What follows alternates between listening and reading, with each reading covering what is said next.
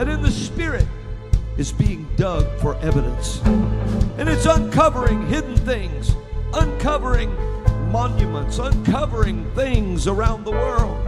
But the search is on for evidence. And it's time because God's people are calling for evidence. Show what's happening, Lord. Show the world what's going on. Show the people what's happening, Lord. And so, in the Spirit, angels are digging for evidence. They're uncovering evidence everywhere. Look for things. Look for things. Look for things to take place. Things to be discovered. People to be discovered. And you'll know the hunt is on.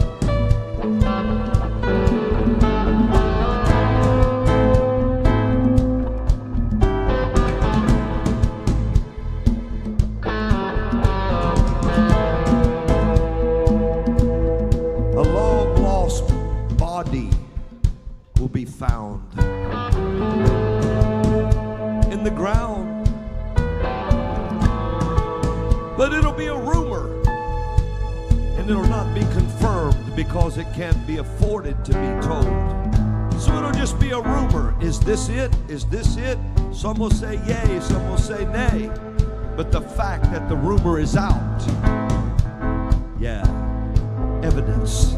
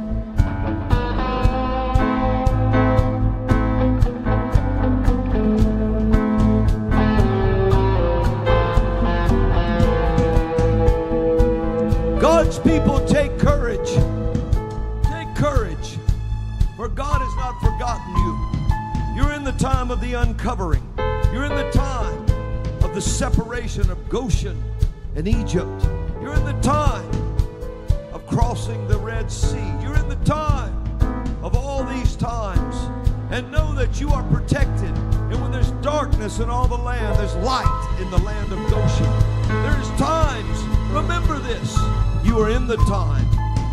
You are in the time of protection. You're in the time of direction. And you are in the time of perfection. For God is looking at your traits of righteousness, not your deficits in your life. Remember that. You are in God's favor. You are in His favor, His people. You are not out of His favor. You are in His favor. Do not fear the darkness, though it surrounds you on every side. Just remember if you know Jesus, you are the spotless bride. And He will direct you, protect you in every way you move. Just remember, no matter what you see protected.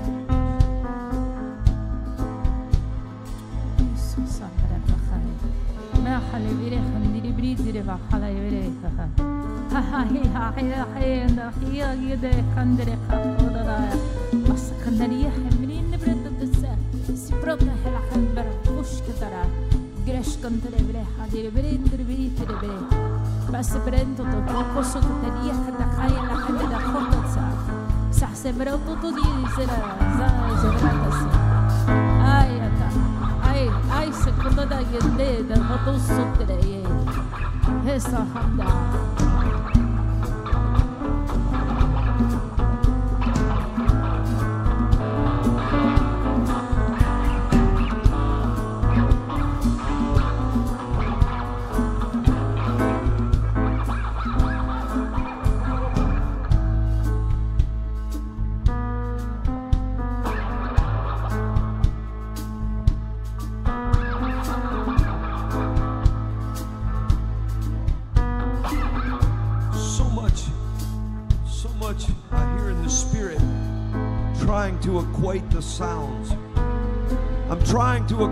the sounds I'm hearing.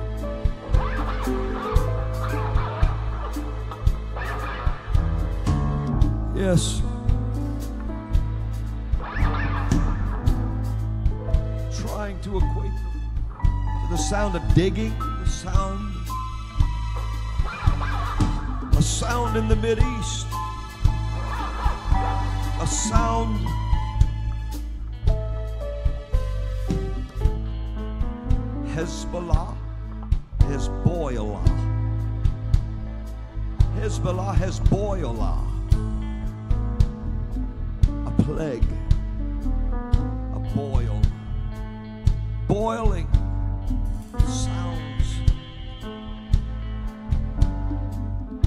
One ends, another begins. It ends, another happens.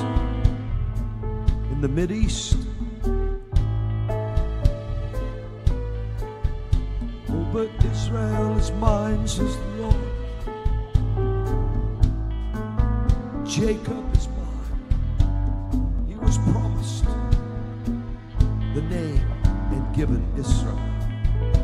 Israel. Israel. Israel.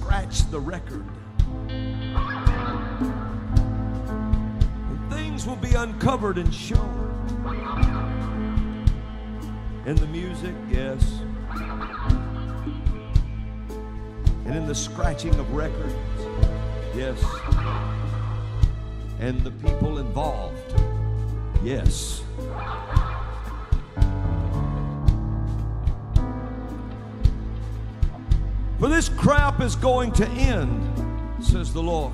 The abusing of my children, the abusing of the little ones. When I said it was better for a millstone to be tied around your neck and you be cast into the depths and drowned in the depths of the sea, I wasn't kidding, says the Lord. I wasn't playing games with you. I wasn't just giving you a metaphor. I was telling you it would be better for you than what awaits you. For I've seen the screams and the cries of the little ones. I've seen them. I've seen them as they called out to me, and I've seen them as I received them back into my arms. I have seen them, and I've seen them over and over and over. But your time has now come. It is over for your kind. It is done in this time. For I am going to show you what's hidden in the sand. I'm going to show you what is lying on borders. I'm going to show you what is happening around the world. And it will end, end, end, end, end, says the Lord. It will.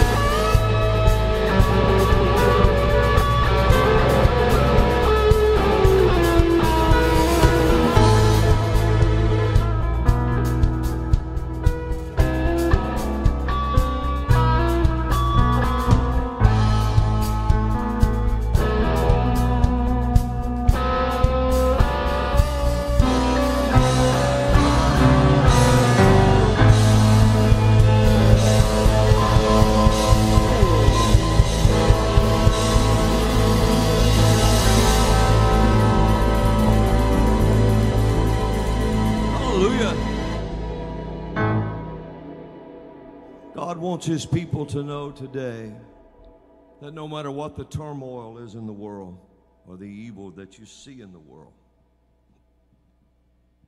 that God hasn't forgotten us. He has not forgotten us. And he has not forgotten you, no matter where you are right now. It don't make any difference where you are. If you're in prison, if you're in some foreign land that you can't get home to your homeland, wherever that may be, he hasn't forgotten you. Just look toward him. And I hear this in my spirit. Look toward the east. And the Lord said, Your deliverance will come from that direction. Hallelujah. Hallelujah. Now, that's a prophetic word for somebody. Look toward the east, it'll come from that direction. Amen. Amen. And I'm getting a, just like a whisper across my spirit again about another balloon, another, uh, I want to say a blimp, but I always see that. It's like a, and maybe I don't always see that, but it's, it's that, some, some air balloon. I see that. And it's just like a, a, just a whisper came across, just real faintly. That means it's a long way from me, or either it's a ways off yet. But I heard it, and I heard it coming. And uh, I saw this snake's face, and it, it's hissing, and it's, it's hissing, but it's a ways off. And that's all it's going to do. Just don't be afraid of that. It's just, it just, it's just hissing. It looked like a cobra type, but it's just hissing, just trying to intimidate. Hallelujah. God, you know, the serpent that worked with Moses was bigger than the serpents that worked with Pharaoh. it was. And Moses' rod rose to meet every occasion needed. Did you ever notice that? It was a Nakash in front of the burning bush. It was a Tanim in front of Pharaoh, and it it was held up and parted the sea. It was held above his head, and his hands raised up, and so forth. And battles are won, and it always rose to every occasion. The Word of God will rise to every occasion to preserve and save you. Hallelujah. Hallelujah. And I would advise, it would be advised for what it's worth to these people. Wicked government officials that would attack prophets, you should probably rethink that. Uh, I heard the Lord say that. You just should rethink it. And if it's that, surely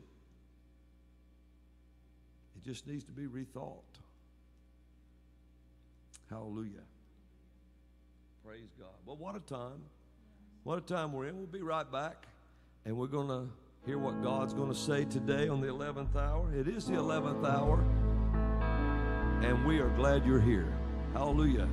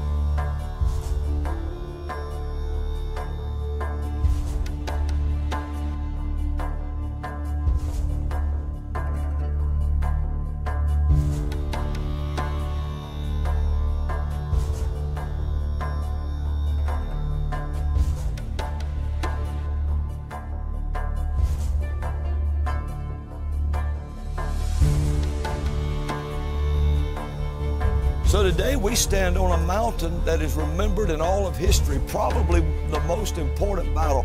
It, it, has all the earmarks. It reminds you of the American Indian and their last stands, different places, tribes. So today up here, I'm instructed to stretch my staff out. That's why I came up here with it. I'm not, I'm not on this tour for pleasure. I came to every side on purpose. And so I'm a prophet.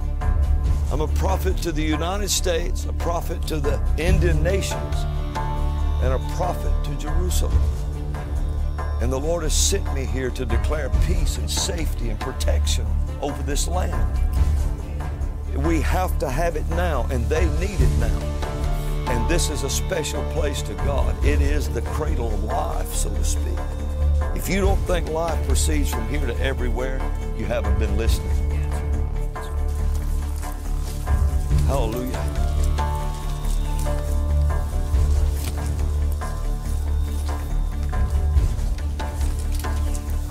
Now, Lord God, we, we pray over Israel. Lord God, I lift, I lift this nation up, Lord, before you now. Here on this high place, Lord, here where so much death has been remembered. But Lord God, there is a, a declaration of life, never again. So, Lord, we proclaim never again. We proclaim never again. And we call for peace. Peace. In the name of Jesus. I call for peace. And where there was a curse, Lord God, that would cause the enemy to come against this again. Lord, we speak an oasis again, a, life over the land. So, peace, peace. Lord, protect this nation on every border. Rise up, Lord, and let the enemies of Israel see angels on all four corners of the nation. Let them see angelic beings and stop their war machines. Lord, this is not the time for this to happen. I call for great revival in this land. That, Lord God, there will be a revival of Yeshua, of Mashiach.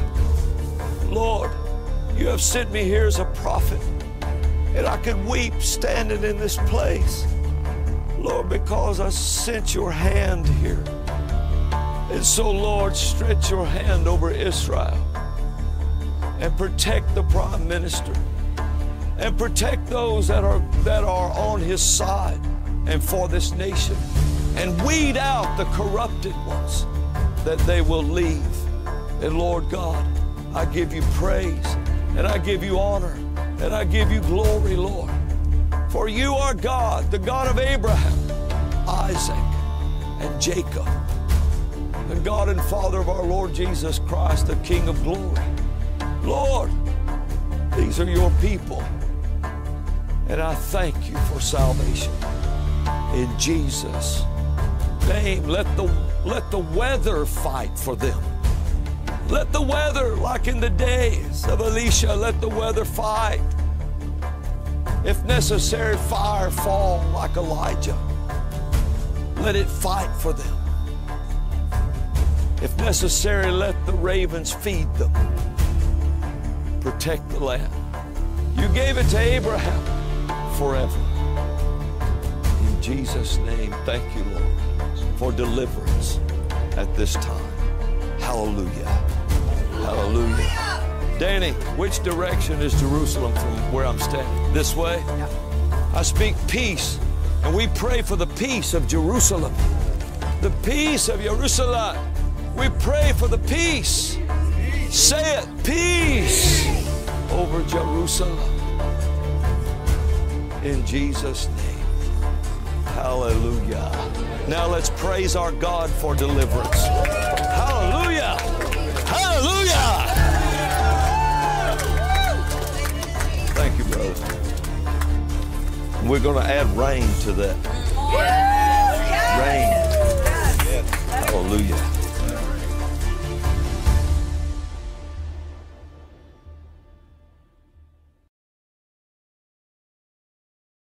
I want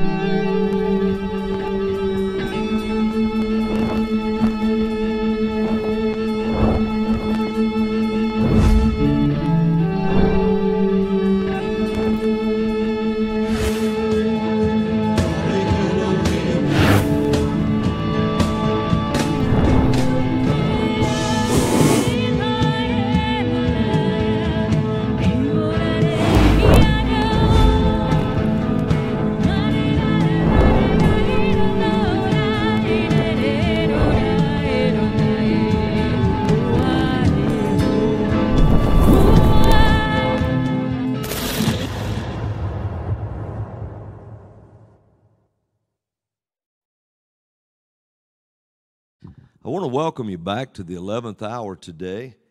And uh, it is a day that God wanted to comfort his people. He wanted to comfort his people and let you know that He hasn't forgotten you. He hasn't forgotten me. He hasn't forgotten, though, you know, though it looks like darkness is encroaching everywhere, that doesn't mean God is not around. God is here. The darkness goes at His feet. That doesn't mean that He has forgotten us. And He wanted His people to know that today.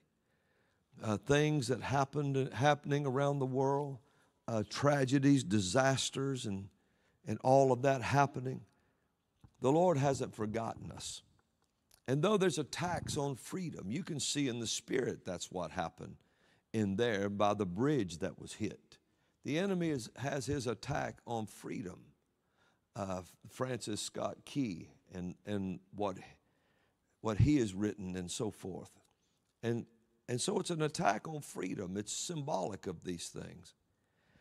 And, um, but God wants you and I to know, you know, say, can you see our precious anthem? Now, I want you to see this. In Ecclesiastes 3, says, To everything there is a time, there is a season and a time to every purpose under the heaven. A time to be born and a time to die, a time to plant and a time to pluck up that which is planted, a time to kill and a time to heal, a time to break down and a time to build up, a time to weep and a time to laugh, a time to mourn and a time to cry, a time to cast away stones and a time to gather stones together, a time to embrace and a time to refrain from embracing, a time to get and a time to lose, a time to keep and a time to cast away, a time to rend and a time to sew, a time to keep silent and a time to speak. And we're in that time, a time to speak, a time to love and a time to hate. Listen to this a time of war and a time of peace. What profit hath he that worketh in that wherein he laboreth? See what it says here in verse 8 a time to love and a time to hate. And then it says, well, uh, in verse 7, a time to speak. This is where we are. We're in a time to speak. And in this time to speak, there's a time to love and a time to hate during this time, and a time of war. We see that happening, and a time of peace. So that's what's coming. So, in this time that we live in right now, there's a time and a season for every purpose under the heaven. In other words, it's been sown for and it's coming up, and that's why all these times are involved. And so, listen to this time is an entity that will one day be no more. The scripture says that the day will come when time will be no more. So, during this time we're in, under the heaven, in this dispensation, time is highly sought after. It's highly sought after. See, time will make a thrust toward the end during the thousand year millennial reign. Time is highly sought after. It's a highly sought after commodity because there's a time for every purpose under the heaven. And if time can be seized, and you know, that's been man's cry, man's, they always constantly want to travel time, manipulate time. Time is a dimension. They're looking for time and they, they want time. You know, the scripture talks a lot about it. It says when Jesus came walking across the water, it says when they got, when he got to the boat and got in the boat, immediately they were to the other side. Time was removed from the factor. Time was removed. When he got in the boat until he got there, this storm just kept going and kept going and kept going. But when he got there, immediately it went to the other side. So, time is something that's highly sought after. It's a commodity. The scripture says, In the beginning, God created. That's time. The beginning, that's time. It speaks of time. The evening and the morning were the first day, time. Second day, time. Third day, time. Fourth, fifth, sixth, seventh, all time. See, time was cut out and put into this realm. And in this time, did you realize that time defeats every army in the world? That's the only thing that can beat no matter who comes out, no matter what. Every day they get older. No matter how a dictator tries to scream and reign and, and, and call himself a God, yet every hour he grows older and time is chipping away at him or her. Time keeps pulling it's chipping away. It defeats every army that's ever walked the earth. It defeats every uh, edifice ever built. It defeats every machine ever built. No matter what, you'll see time take its toll on it. Time and everything in the material war, uh, world is at war with each other constantly. You see metal start to rust. That's time. Over time, it breaks down. You have to go to great lengths to try to secure time in an area. They bury time capsules so they can see what happened at another time. The Chronicles of the Kings in the scripture is a record of the time that king lived on the earth. Because one day, make no mistake, one day all kings will stand before God, and when the books are opened, and it said, This is what happened in this time. Who was the king at that time of this nation? It's chronicled. Kings' lives have to be chronicled. Time. Time is an entity that one day will be no more. The scripture declares time will be no more. Time will make a thrust toward the end, the thousand year millennial reign. Time is a highly sought after commodity. It is to be factored in to win battles, coordinating attacks, to inform people when to gather, to inform people when to leave. Time is on a course to be no more. So, every hour, every minute of every day is valuable to people and spirits Men need it, demons want it, and Satan fights for it. Time.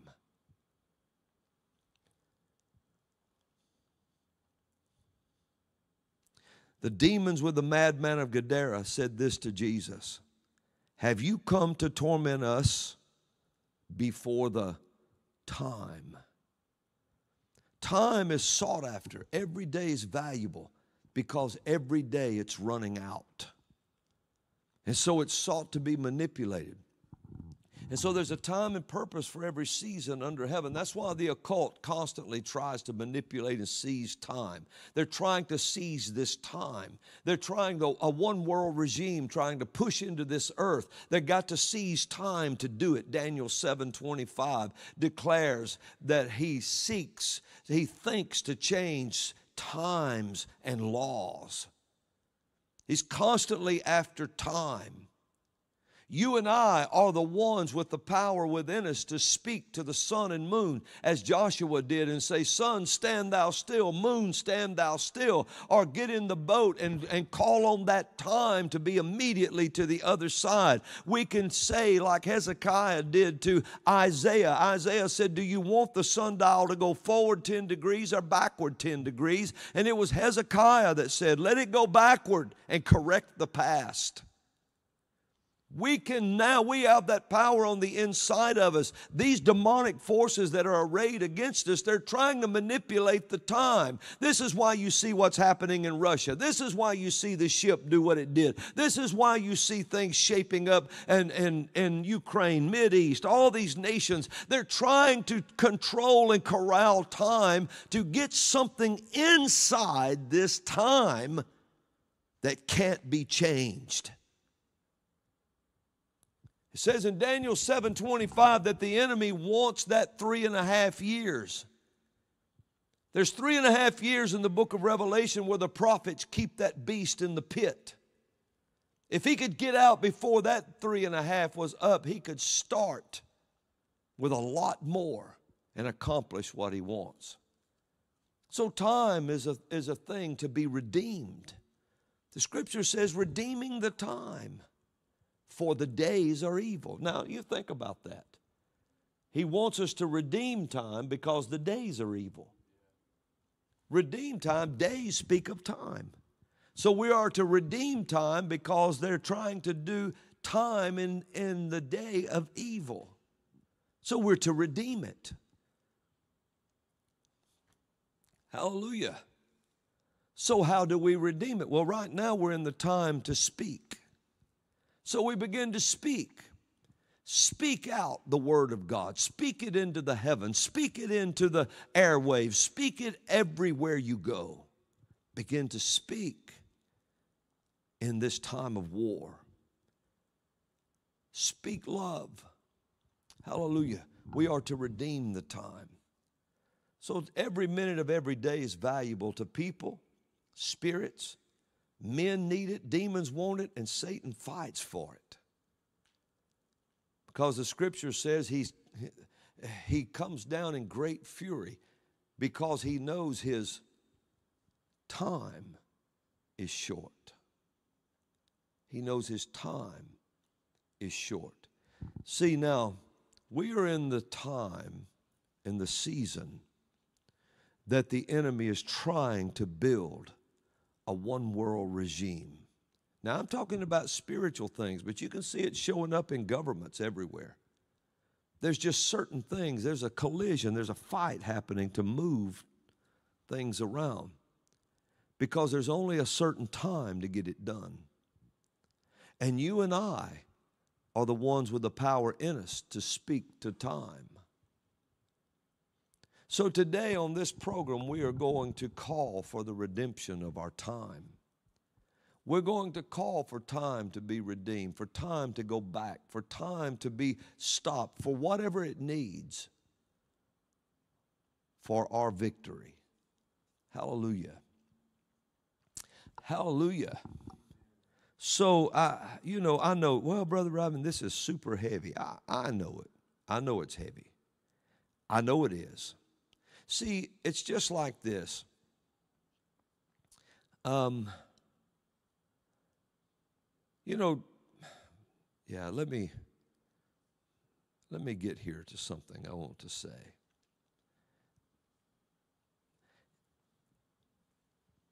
Yeah, all right, I will. To try and overcome a prophetic word given by the Creator Himself is a futile thing. To try and overcome a prophetic word that the Creator Himself has given is futile. To do so, you have found yourself fighting against God Himself. Regardless of what people may claim to believe or not believe, when it comes right down to it, they live and die while God and His Word remains forever. I want to say that again.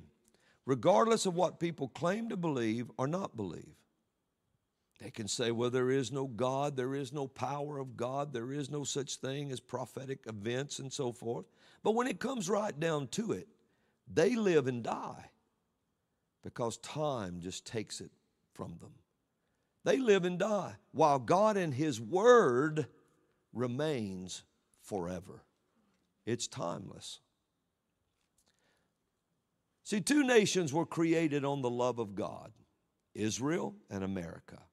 Israel because God loved Israel, America because we loved God. The words of the evil hierarchy in this time are laced with occult overtones. It's easy to see if one knows what they're listening for. Every generation claims to be the modern generation. Yet during a lockdown, toilet paper replaced money in this so called modern generation. Prophecy from the Most High, the God of Abraham, Isaac, and Jacob, the God and Father of our Lord Jesus Christ, the King of glory, comes from the place of no sin. That is from tomorrow. Why is it the place of no sin? Because man hasn't arrived there yet to bring his corruption.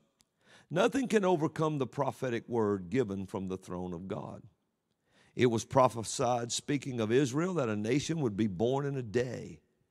No one ever heard of a nation disappearing for 2,000 years and then in one day it was born again. Yet in 1948, it happened. Jeremiah chapters 50 and 51, it was prophesied that there would be a coalition of nations with a captain to lead them, and through this coalition, the Lord would bring upon the land of Babylon a destroying wind. We would say a desert storm. The Euphrates River is mentioned in the book of Genesis as one of the four rivers of biblical prophecy. It is mentioned over and over in the Bible. The Euphrates is a major prophetic road sign. In the book of Revelation, chapter 16, verse 12, and the sixth angel poured out his vial upon the great river Euphrates, and the water thereof was dried up, that the way of the kings of the east might be prepared. This prophetic river is now drying up at a phenomenal rate in the natural. No one in the past even thought this was possible. At this same time, China, one of the kings of the East, poses a tremendous threat. We right now have madmen like Klaus Schwab and Noah Harari openly speaking of creating a genetically altered race of people using computer chips and so forth. Harari says that soon we won't be human as we know human. He said it will one day be like a screen when it's pulled down and everything will change. He went on to say part of this will be done with implants of chips. He said if you don't get on board, they won't need you as a serf or a slave. Well, now the first in, uh, chip implant in the brain of a human has taken place. This all could be chalked up to nonsense except for the fact that the head of the World Economic Forum and his prophet Noah Harari is pushing it at a breakneck speed. The Lord told us of all this long ago. There's a one world, world order being pushed into being in front of our very eyes. The Great Reset, it's called. If we think this is all too far out, then we must ask ourselves why was the throne of Satan mentioned in Revelation chapter 3, excavated, sent to Berlin on the very date Hitler was born in Austria? Why did Hitler have Albert's Speer replicated for his Nuremberg pedestal from which he uttered the words final solution? Why did he earnestly seek the Ark of the Covenant? Why did he search for the Holy Grail? Why did he murder over six million Jews? And why did he try to create a super race? What does a history lesson of prophetic events have to do with this event today? Each and every one of, of you right now are prophetic players in the earth right now. You have no idea of your worth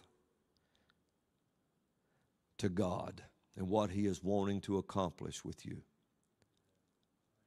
Some say this is just a coincidence or the cravings of madmen of a madman. The point being, the ancient fight from the beginning has not changed. Men and women are caught up in, ancient, in an ancient fight, whether they like it or not. In our generation, we have some similar questions to ask ourselves. For instance, why is the great LHC in Switzerland trying to open a door to another dimension? When asked about its purpose, they said if we can open it, something might step through it.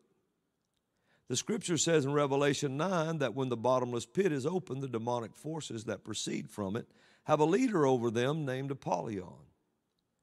The large Hadron Collider in Switzerland is built on the temple of Apollo. Why is the false god Shiva, the Hindu god of destruction, standing outside the door of this facility? Why was the same false god sitting on the table in 2017 when China met with the WHO in Switzerland? Why did Barack Obama appear on the cover of Newsweek as this God, where the caption read, God of all things? Why was the Gotthard Tunnel in Switzerland dedicated by replicating the ceremony of Pan in Caesarea Philippi? In 2016, thereabouts, then a pandemic came. Why did Hillary Clinton invite two of the most powerful witches in the world to the White House, where she channeled the spirit of Eleanor Roosevelt? Questions such as these no one will ask, and certainly they will not answer. Yet, if they had uh, been asked and answered in the days of Hitler, we might have stopped so much. Hear the word of the Lord in this room today and over these waves. For I have raised you up for this time. You have always asked God to use you. Well, hear the word of the Lord. This is your time. Speak out now, says the Lord, for I am with you. No one will lay their hands on you to destroy you. Hear the word of the Lord. Trust me, and I will not fail thee. Rise up and be thou strong and very courageous, for I have brought you to this place for such a time as this. One cannot deny this in the face of child sacrifice, of abortion. The ancient arches of Baal, the champion of child sacrifice, has been replicated and dedicated by heads of nations. In the dedication of the Gotthard portal in Switzerland, the very ceremony of Pan was replicated and celebrated by over a hundred government officials, heads of nations, the confusion of genders, and even species. We see what the enemy's doing. I had prepared this word for a group of people and the Lord never gave me leave to read it. And then today said, read it today. So now I know why. It was saved for such a time as this. And it's something that we're just coming out of the out of the time of Purim and the deliverance that Esther had brought to the whole Jewish people. And there was a wicked dictator named Haman looking to overthrow the king and manipulate ideas and laws. Think about it. Haman was manipulating times and laws. Because in Haman's day, remember this, it said they came before Haman and they cast poor, or poor. They cast it, which is Lot, the lot. And it said they came before him and started at the month Nisan and cast it for every day and every month to see what month he would destroy the Jews. And the day fell on in the month of Adar or Adar. So he was manipulating, looking, watch now, for time, the right time. He was looking for the times. And then he had a law that he had manipulated and sealed it with the king's signet to destroy all the Jews. So you know Satan was, was leading this man. He was trying, he thought to change times and laws. See, in the spirit world, and I'm speaking of the spirit. See, people, people, oh, you know, they get, oh, they want. I'm talking about fighting in the Spirit. Fighting in the Spirit with the Word of God. Because people are caught up in a prophetic narrative whether they know it or not. God's prophecies will happen. And they're not going to not happen. We just need to get hold of that. They're not going to not happen, and principalities hunt personalities constantly. A lot of, a lot of people, probably politicians, a whole lot of them don't even have a clue what they're caught up in. But I'm convinced some do. Because Haman had his mind set to change a time, manipulate a law, to destroy God's people. You know what the scripture says? Said he wanted to destroy Mordecai. Now, watch how Satan uses the hate against one person. He said, Mordecai, see, when Haman came through, he was the king's right hand man. You know, in Veggie Tales, make way for Haman, the king's right hand man. And, you know, the little grapes were carrying, the French peas were carrying him, and, you know, and he had on his gangster hat and all. But Haman wouldn't bow. All the everybody bowed to Haman when he came by. Bow.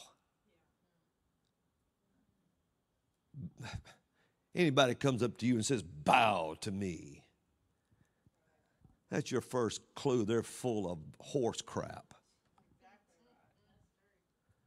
And so uh, he was making everybody bow. But when he came to Mordecai, whoa. Mordecai just stood and looked at him. He's not bowing to Haman. Oh, it infuriated him. It, it enraged Haman with such a fiery rage. And he wanted to destroy Mordecai, but he thought it scornful, the scripture says, to, to just destroy him. See, if he'd have just turned around and said, I'm just going to kill Mordecai, everybody would it, it looked, he would have drawn scorn for that. So here's his grand solution let's just kill them all. Let's kill all the Jews, he said. And I'll get Mordecai. He didn't even care if he killed. And it said little ones, women, children, little infants. It didn't, it didn't matter to him to get to that one. He wanted that man dead because that was a prophet that was hearing from God. He wanted him gone. And so Satan said, more, uh, that was probably Haman's his argument with his master overlord, the devil. I'll draw scorn if I just kill him. And Satan said, kill them all. Just take them all out. That's what he wanted anyway. Maybe we will kill the Messiah. We'll get rid of his line if we get them all. And so he set out to manipulate a law. And he took a law and he said to the king, King, there's this group of people in your kingdom, but he won't tell him who.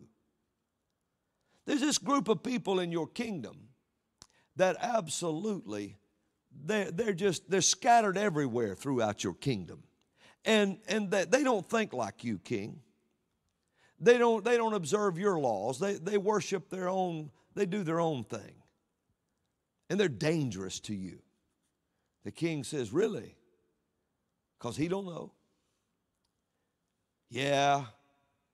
And haman is talking about the jews. And the king don't know he's married to one. And so he hides the truth from the king. But he don't know he's married to one either. So he, he comes in and says, there's these Jews, and but he don't call them Jews. It's just these people.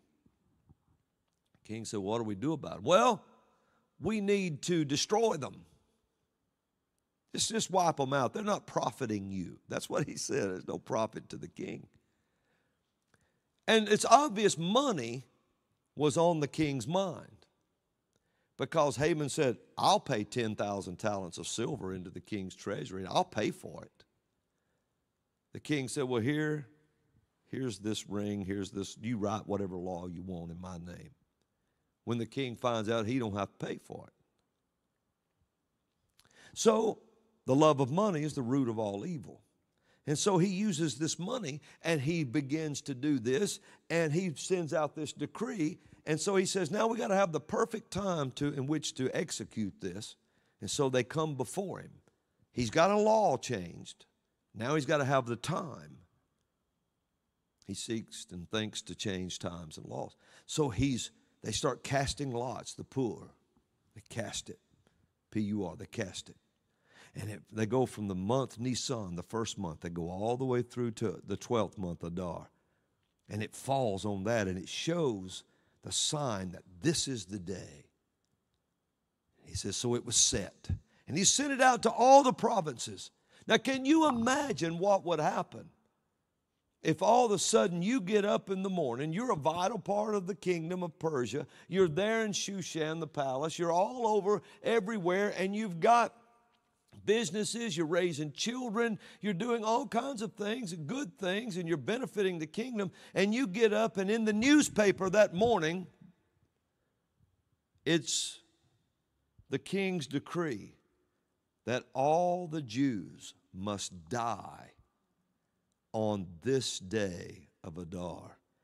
The babies, the infants, the babies, the, the teenagers, the women, the men, and all of their land seized by those who killed them.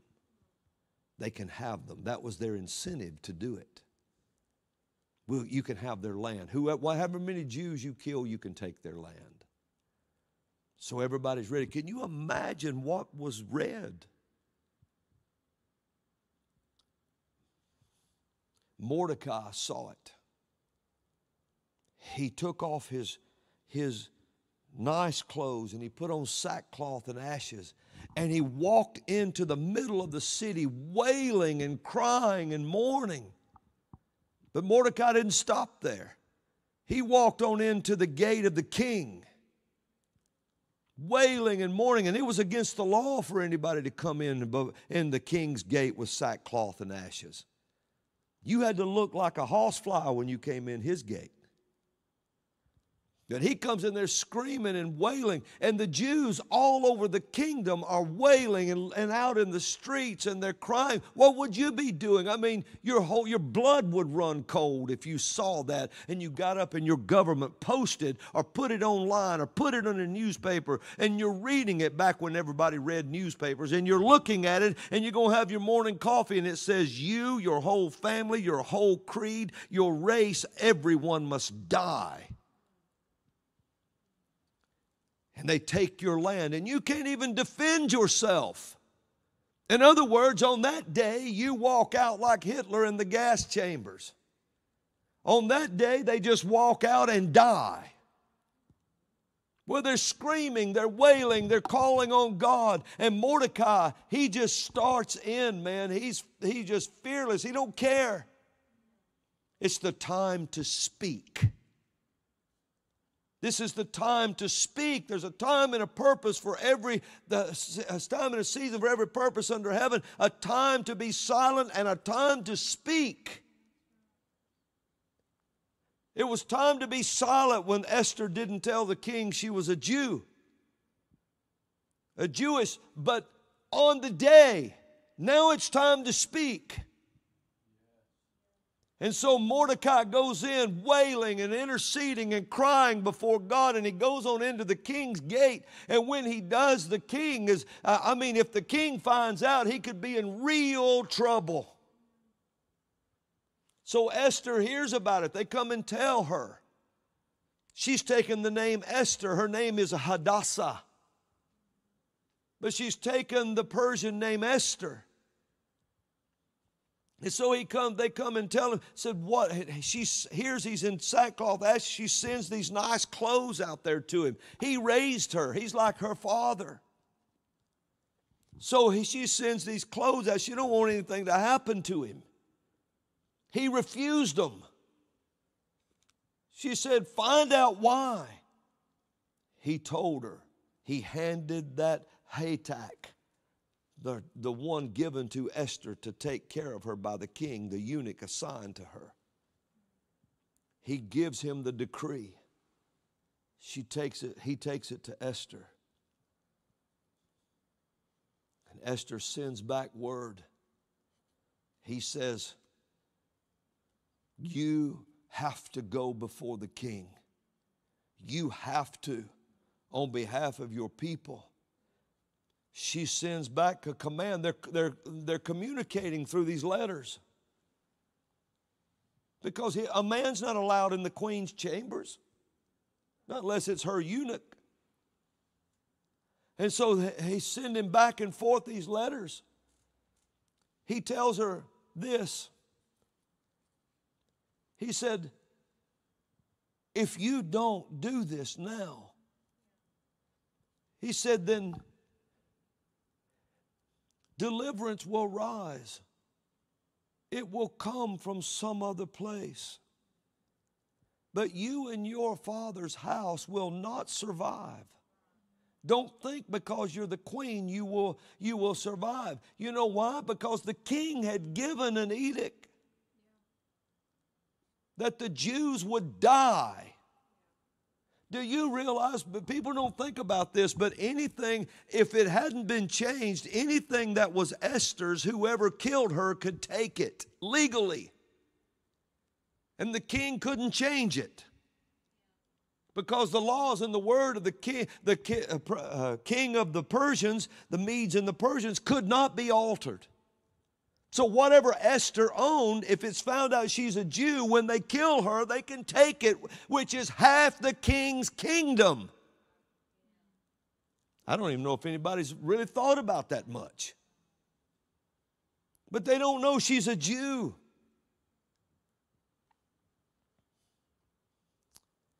So now, half the kingdom is in jeopardy, and the Jews being wiped out. So, all control of Persia, at least half of remember the king told Esther, I'll give you half my kingdom.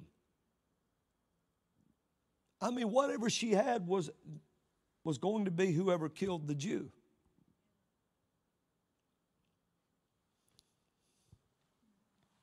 So the king's throne was actually being protected by a Jew. How about that? He don't know it. And Haman has moved dangerously close to the throne now. One of Agag's descendants, whom Saul wouldn't kill. A prophet had to kill him. Saul spared too much. And now they're about to reap what he spared. And so now the king's throne is in danger. And he don't even know it. Haman has moved dangerously close to the throne. That means Satan has. So Haman, it's all set. Esther has the decree. She sends word back to Mordecai. But the king has a law for everyone. If you approach his throne without being summoned by him, you die. Esther is absolutely letting everybody know once the law from the king is put out, it can't be altered no matter if you're the queen, no matter if you're the king. So if it's found out now that she's a Jew, he can't even save her. So she says, Mordecai said it's one law for everybody, and he hadn't even called for me in 30 days. He said, Well, if you think you'll escape, you won't. He said, But who knows if you wasn't brought to the kingdom for such a time as this? It's time to speak. You're in the time to speak. And if you hold your peace, the Lord will raise up deliverance for the Jews from somewhere else, he said. For God's people. You could read it that way. But you and your father's house won't be saved. That's why I have to speak. I can't hold my peace from what I hear from the Lord because that's where your protection is, is what you speak. So she reads that word, Hatach tells her. And so she reads that and she says, sends word back and says, Tell all the Jews, all of them, to pray and fast for three days. Don't eat nothing, don't drink anything. That's pretty tough for three days, especially the water. And he said, Don't eat or drink anything. I and my maids will do the same thing. Now you think about that.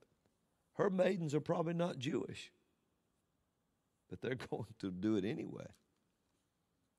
So, at the end of three days, she groomed herself, put had all the royal apparel on, put on. She heads to see the king.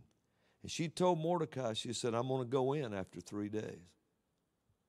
If I perish, I perish.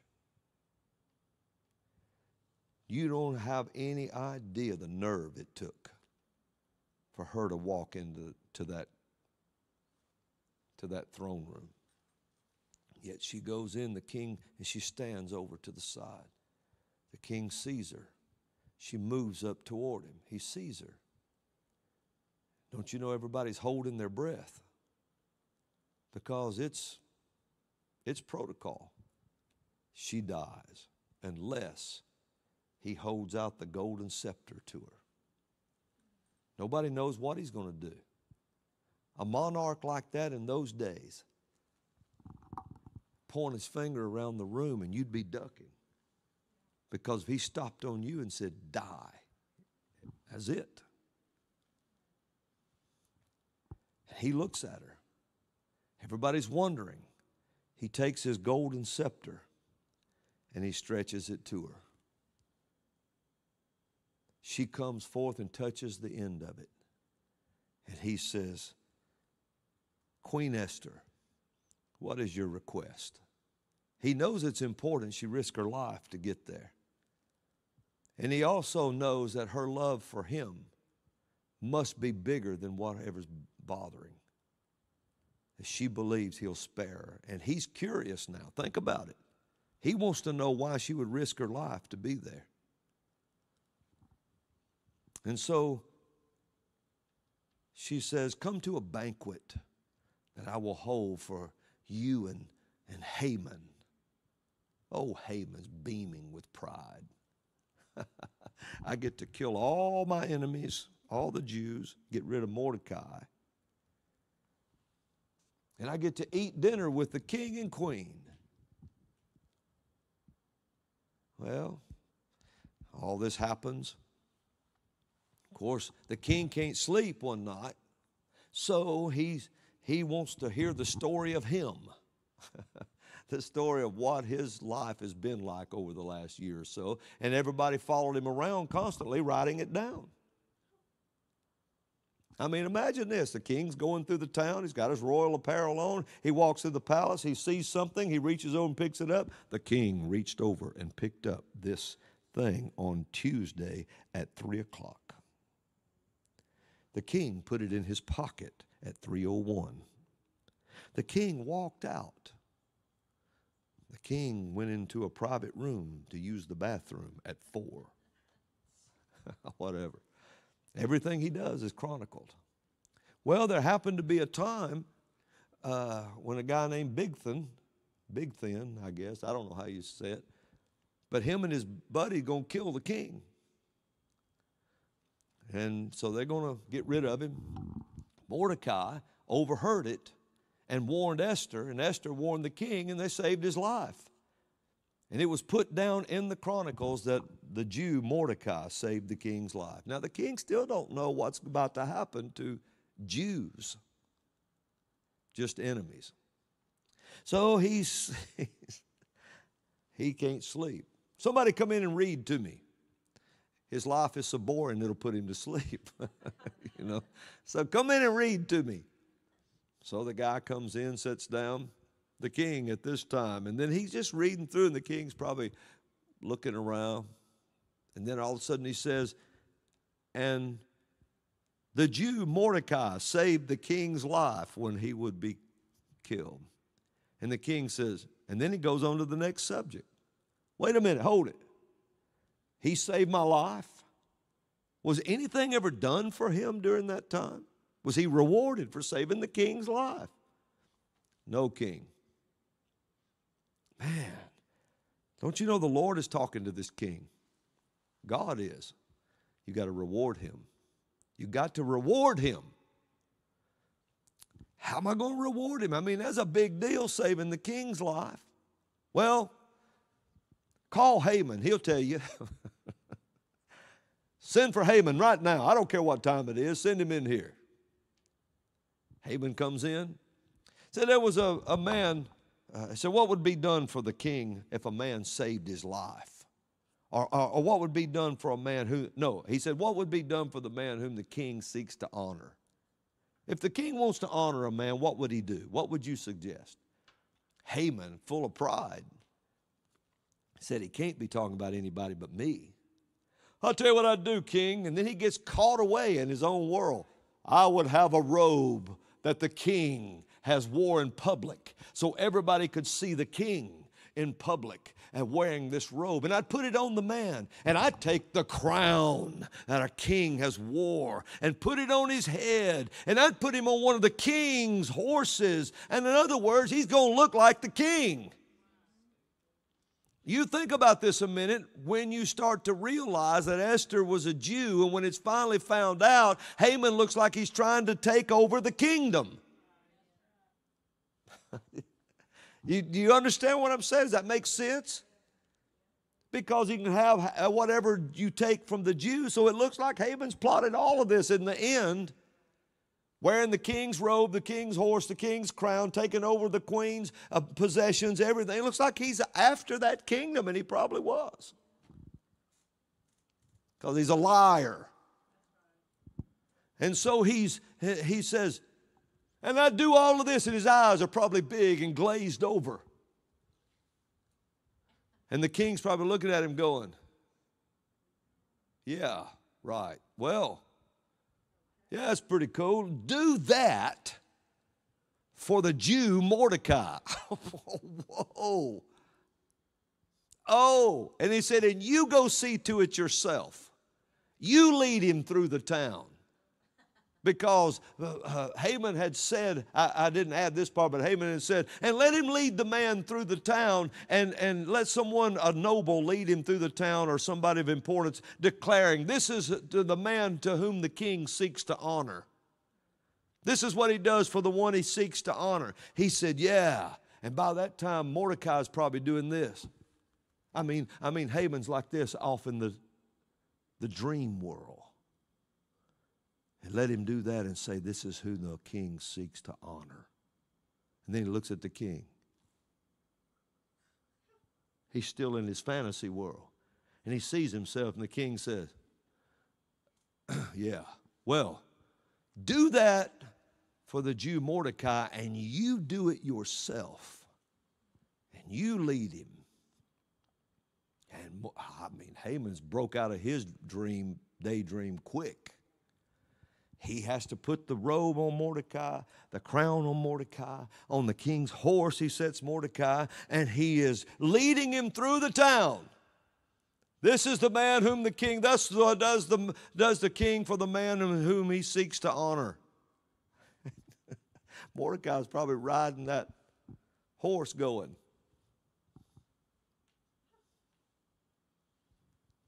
Now, Mordecai knows God is at work here.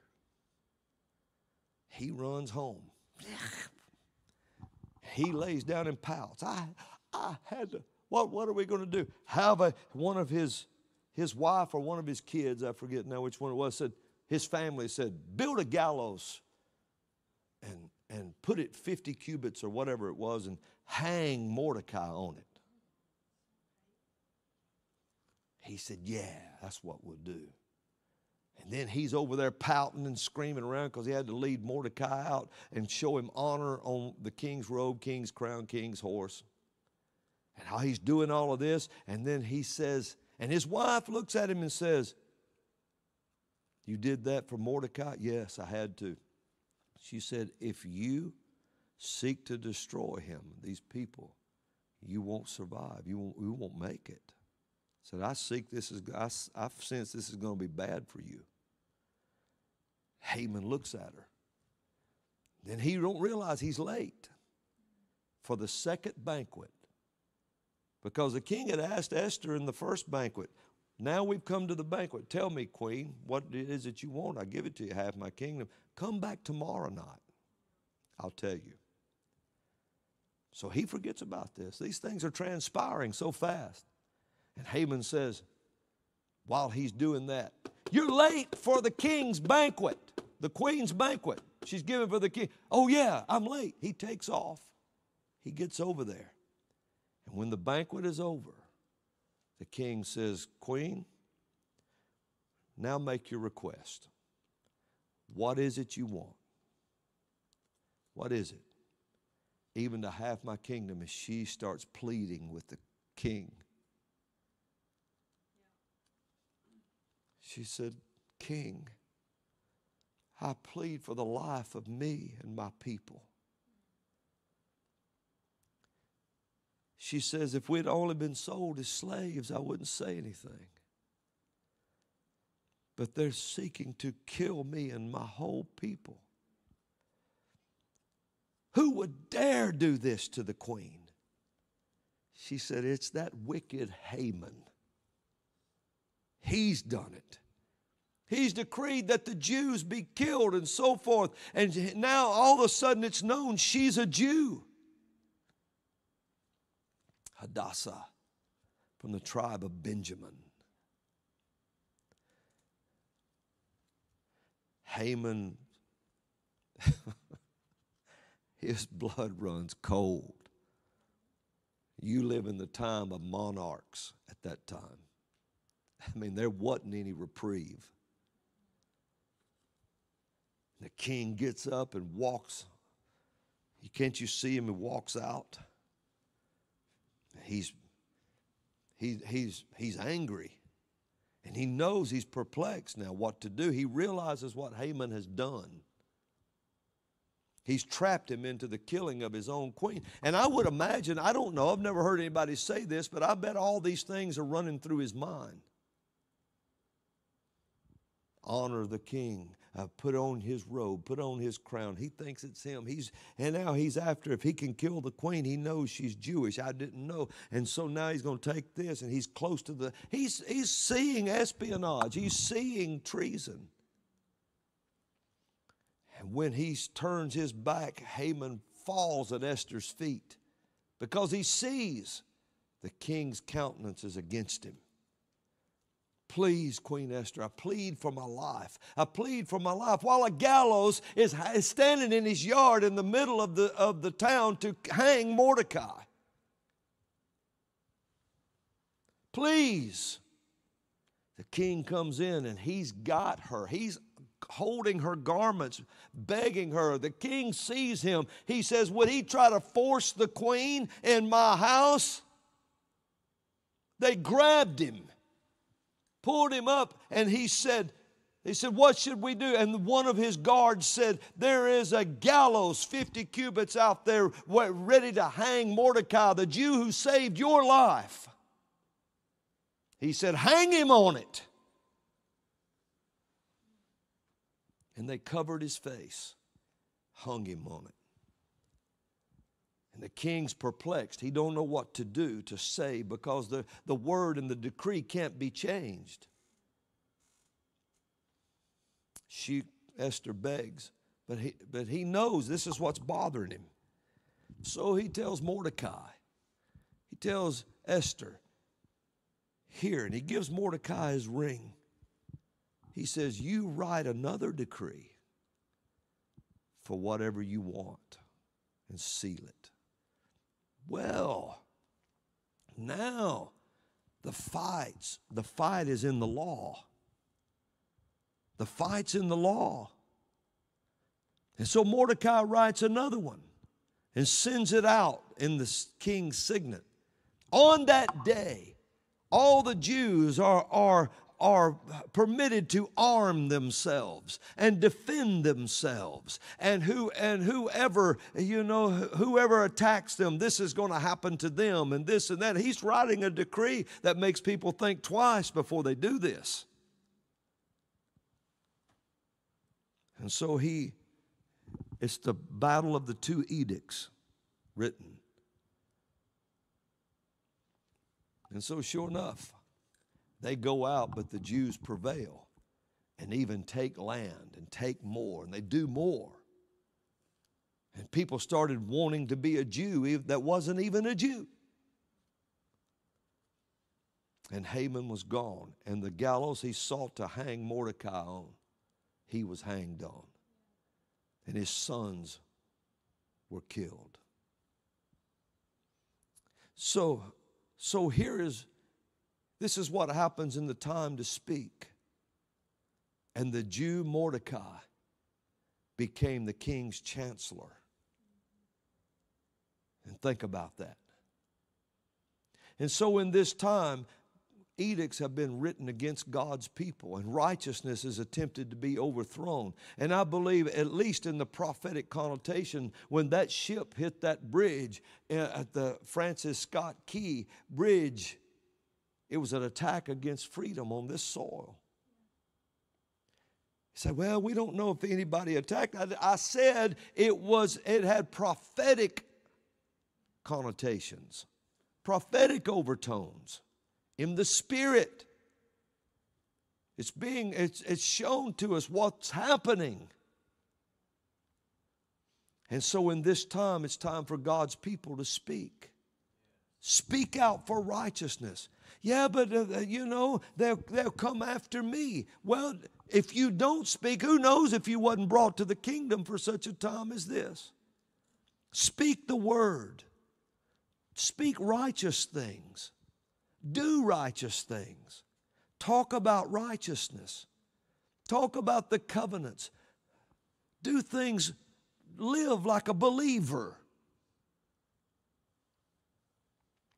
Hallelujah. Live like a believer. Live like live like you're supposed to. Yes. Now let me see if I can find this and I'll close with this. Hallelujah. I'm looking. I'm looking. I will find it. No, that's not it. That ain't it. That ain't either. Nope. Nope. Hold on. We're getting there. Praise God. We are getting there. Amen. Now, so we talked about how time is a precious commodity. And people, men, demons, and Satan, they all want to control it and control the time. Because time is like a bunch of little wounds in, this, in the unseen world. And there's a time to sow something into that that will produce. There's a time you sow into that, that will produce. And so, time, there's a time and a season for every purpose under the heaven. Now, we as Christians, it's a time now to speak. We must make our stand for righteousness. It's a righteous stand for us, or it's no stand at all. What does a righteous stand look like? Well, we read about Esther and her righteous stand. And we, we read about the results of a righteous stand. So, what does a righteous stand look like?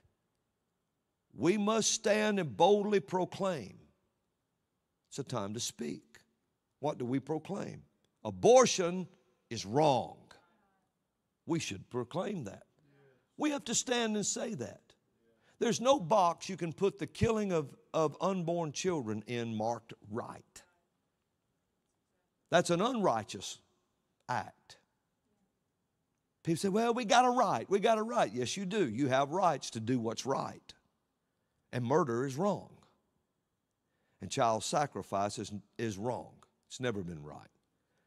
Killing babies is wrong. Now, this is not debatable in the Christian world.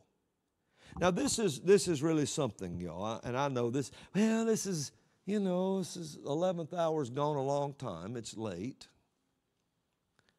It's later than you think it is. This is not debatable in our world. This is a non debatable subject in our world. Killing babies is wrong. You, as Christians, cannot endorse this. What bar, ma, uh, box marked right do you put that sin in? Would you have, uh, as a believer, offered children to Baal in the Old Testament? Planned Parenthood is, sim- is simple. It's simply the modern altar of the ancient false god Baal. As a Christian, same sex marriage is wrong. We have to stand up for that.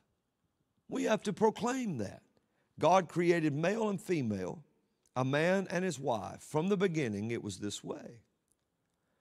As a Christian, we do not endorse or embrace the woke agenda.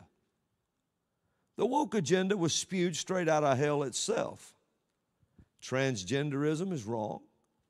There's not many genders, there's only two. It's very simple male and female. It doesn't matter whether you believe that you're a man, if you're really a woman, you're still a woman. It doesn't matter if you believe you're a woman, if you're really a man, you're still a man. If they dug up your bones 150 years from now, it doesn't matter how many operations you've had to make yourself another gender. When they find you, they will say by your skeleton, that is a man or that is a woman. Your truth does not matter. The truth is what will stand. Ecclesiastes says there's nothing new under the sun. We read about that. Genesis 3:15 is where the woke agenda started. It was when the serpent said to the woman, "For God doth know that in the day ye eat thereof, then your eyes shall be opened, and ye shall be as gods, knowing good and evil." Your eyes shall be opened, or you will become woke. But it didn't stop there. It went on to say, You shall be as gods. As gods to determine things like you may be born a woman, but you are as gods. You can be a man. So we have to, as Christians, stand up in our time to speak for what is right. We have to stand, make our stand of righteousness. And this is how you stand. Hallelujah. Hallelujah. Well, that's all today on the 11th hour. I hope you got a lot out of that. And we are in the time of Purim, and we, we just came out of it. And um, we see a lot of things happening in the world. All of them have prophetic significance, and more will come out as the time goes. And you'll see. Hallelujah. Um, hidden things will be brought to light. Mark 11, I mean, Mark uh, chapter 4, verse 22. Hidden things will be brought to light. There's always light in the land of Goshen. Hallelujah. Hallelujah. Well, Krista, are you receiving the offering today? So come on and um, just take hold of this mic, and I have I have covered some ground here. That's a fact. Ground has been covered. Amen. Well, we want to thank you all for tuning in today to the 11th hour. You know, um, Esther is probably one of my all time favorite books of the Bible.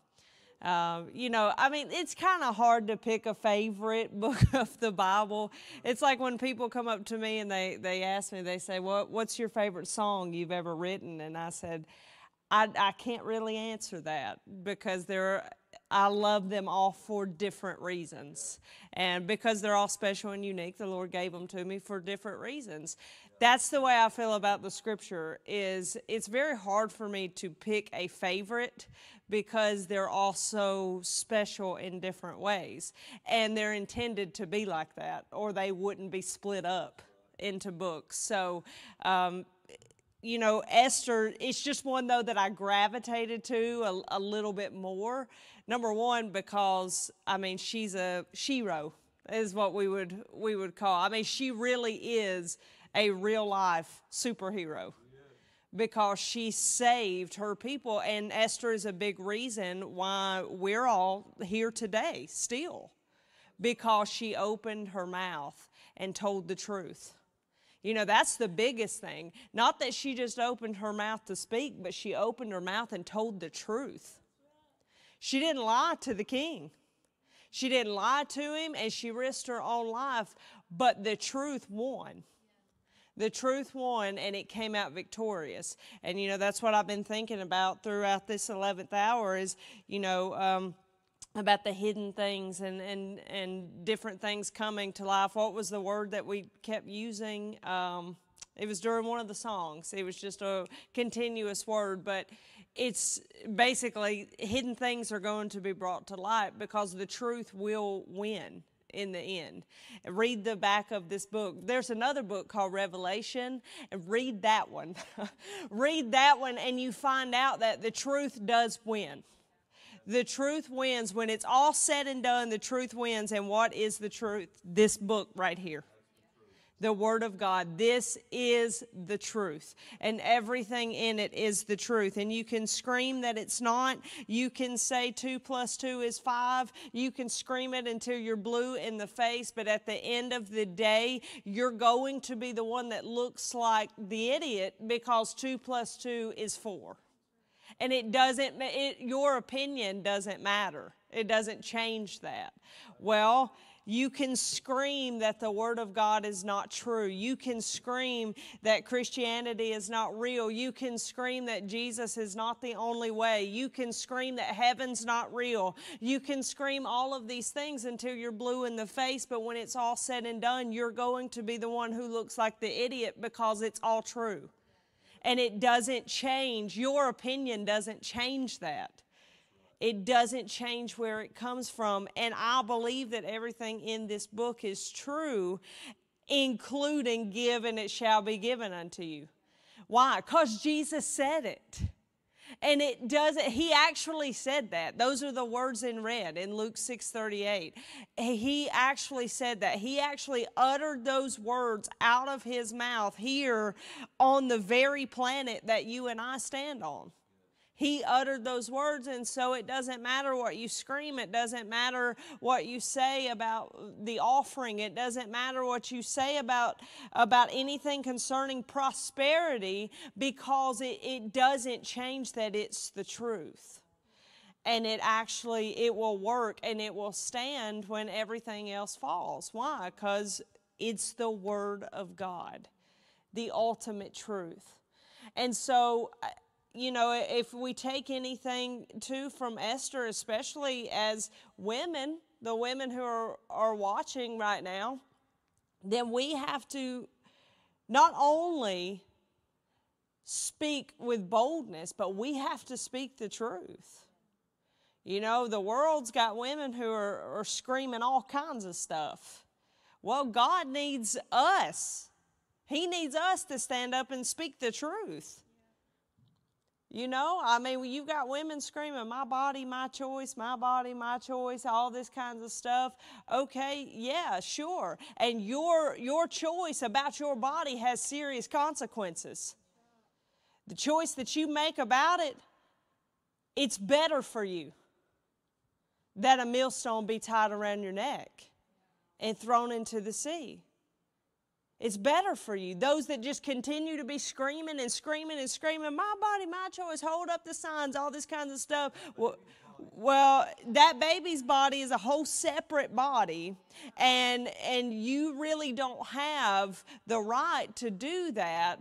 And your choice that you're making has serious consequences. And that's the truth coming from this woman. Your choice has serious repercussions. But if, now, if you're on the other side of that camera, I don't know why I'm saying this.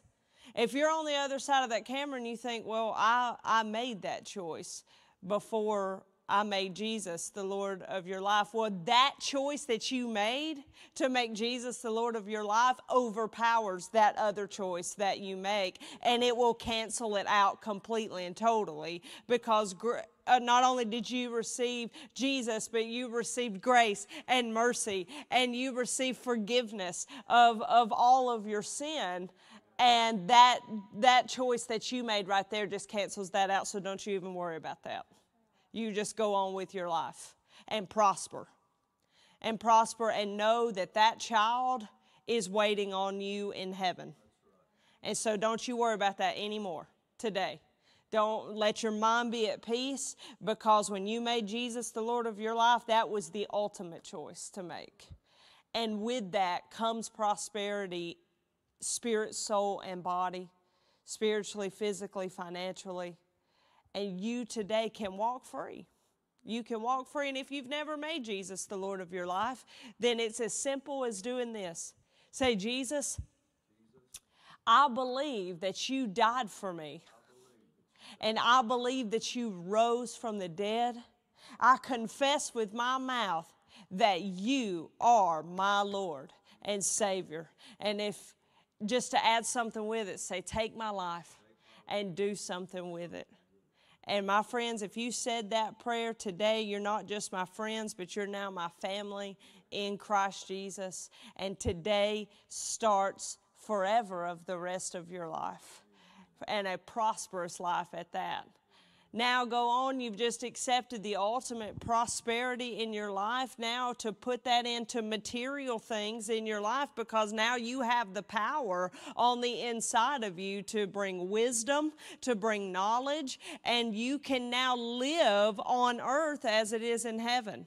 You have the power to do that now by accepting Jesus as your Lord and Savior, to bring heaven to earth. You really do. That's the truth also. And he says in Luke 6:38, he says, "Give, and it shall be given unto you. Good measure, pressed down, shaken together, and running over shall men give unto your bosom. For with the same measure that you meet withal, it shall be measured to you again." You say, "I believe it, I receive it, and I call it done in Jesus' name." Now, for the tither, uh, if you're a brand new born again Christian, then I, I encourage you to go and study the tithe, and I encourage you to really pray about it. Obviously, I can't tell you, yes, yes, you need to tithe, you need to, but I can encourage you from my own life and let you know that when you connect that part to heaven, you connect that part of your finances to the kingdom of God, I'm telling you, it can end up saving more than just your finances. Why? Because He says, I will rebuke the devourer for your sake. So if you're brand new, go study it out. You're not, you're not going to regret it. I promise you that.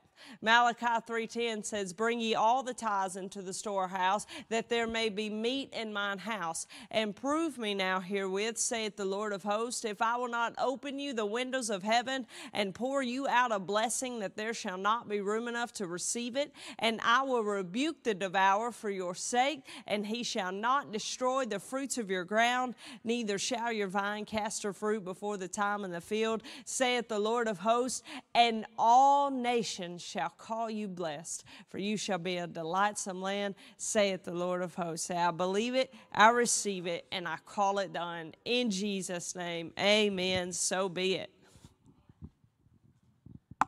Hallelujah.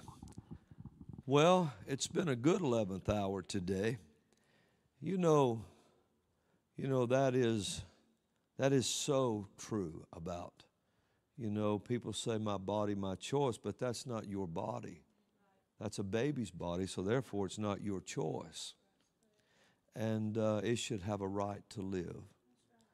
And uh, so if you're thinking about making that kind of decision, that's who I'm talking to right now, then you, you need to rethink that. And uh, God has a purpose and a plan for that child and for you with that child.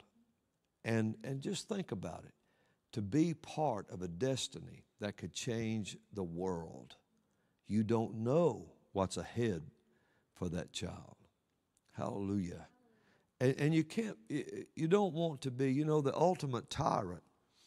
The ultimate tyranny is to kill people with their hands behind their back, where they can't fight back, they can't do anything. That child can't do anything to defend itself. And when they show it actually on the screen, it shows it trying to get away. And uh, so you don't want to let the enemy fool you into that. We have 4D now, sonars and things, that it's obvious they can't lie to us anymore and say it's not a child because you can see it. So if you have done that, Krista told you, there's forgiveness in the blood and a way to start completely over. But if you're if you're thinking about doing that now, think on these things. Your child, your body, your choice, but that's not your body, so therefore it's not your choice. Hallelujah. You had the choice before that became a body inside you. Now let it have a choice and a life. Amen. It's not an it, it's a child. Now, I want to uh, I want to also tell you that if you're born again, you can be baptized in the Holy Ghost with the evidence of speaking in other tongues, something the devil has no clue about. You just say, Lord Jesus, baptize me in the Holy Ghost with the evidence of speaking in other tongues. And then just start saying, praising, and then saying the sounds you hear in your heart. And you start praying mysteries hidden in God. now, that person that just made fun of me speaking in tongues. Uh, I'm, I'm really, I pray you did that in ignorance. So don't, I wouldn't do that. That's not a good thing to do. You know, they tried to say that day at Pentecost that they were, these men are drunk. That was in ignorance. He said, No, no, we're not drunk as you suppose, seeing it's just nine in the morning. He said, But we're filled with the Holy Ghost. This is the promise. So you just begin to pray the mind and the mysteries of God.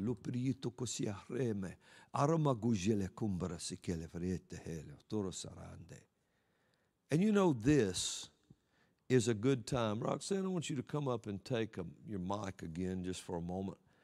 This is a good time right here that all of those people that were killed in, in Russia in that terrorist attack, all those families of those people that were killed, those that died when that bridge collapsed uh, in Maryland, the families of those people. These are the two main tragedies right now that we see happening, that just happened. We need to lift those families up in prayer today. We really do. And we don't know what it will take to comfort their precious hearts over their family members. You have no idea what it would have been like to have been w- uh, waked up and said, This is what just happened to your family. You absolutely, it, it, we don't even want to know such a thing. So the only comfort they can have, the Holy Ghost knows how to do that. And the scripture says if we pray in the Spirit, that we he prays he it's him taking hold together with us against our infirmities and we're praying for things that we don't know how to pray for. So roxanne i want you to come out here and just just come here we're in the center there somewhere. And and i want you to pray. And we're going to begin to pray for all those families. And uh, that happened at that theater i'm not sure what that was some kind of concert hall in russia and happened at that when that barge hit that bridge this morning those family members that are going to have to deal with this and the tragedies that it's happened. So let's just pray in the Spirit over them. You lead us in that, and we're just going to intercede for those families.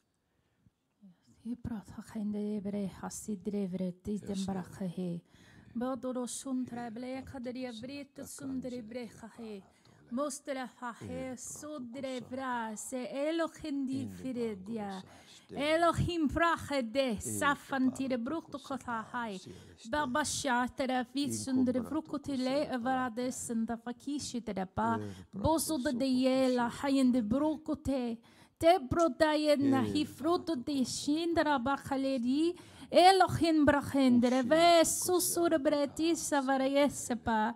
medo dia medo sitter, vulturo conciti si prata hindro cuto hulle vesandara yedra vindro kulla yedra fassa ah feso sala lendo di dara yefrandi kiteshata ma di vissuto da yella la vaia de de asota gente ki kala gente so si bredo she Zai tendo yala yekendo sai baza vasi fidira broto shindrifika ha. Haya halayendra hai. baye broto sale kanoda yevri hikdi shindi sai bedosi bai te pokon yende vesi papa yela de disse te ma di bo sipra bai hipa kante pe.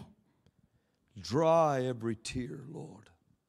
Dry every tear of the family members that woke up this morning, Lord, to hear of the tragedy at the bridge.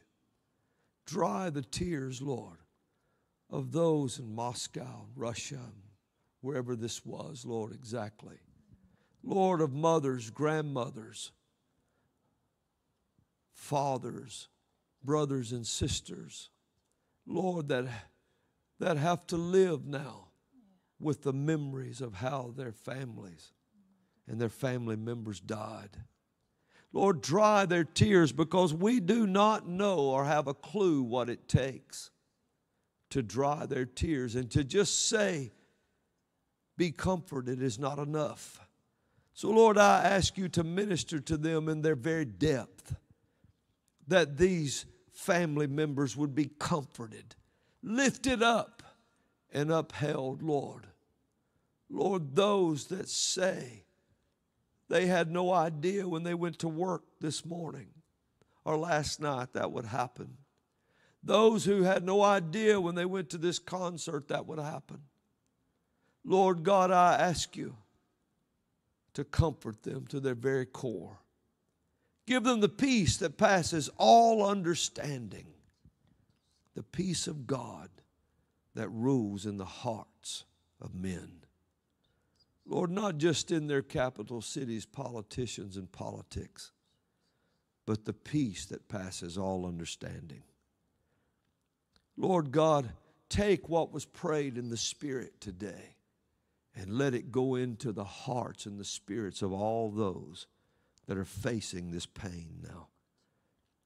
And I give you praise and honor and glory. And I pray it in the matchless name of Jesus Christ. Hallelujah. Amen. Amen. Thank you, Roxanne. I just wanted to, to be sure we prayed for these families before we went ended the program today. And you pray as the Lord leads you to pray. And when that heaviness comes on you and you you begin to pray, you know, yesterday I had other plans to do something, but it was on me all day.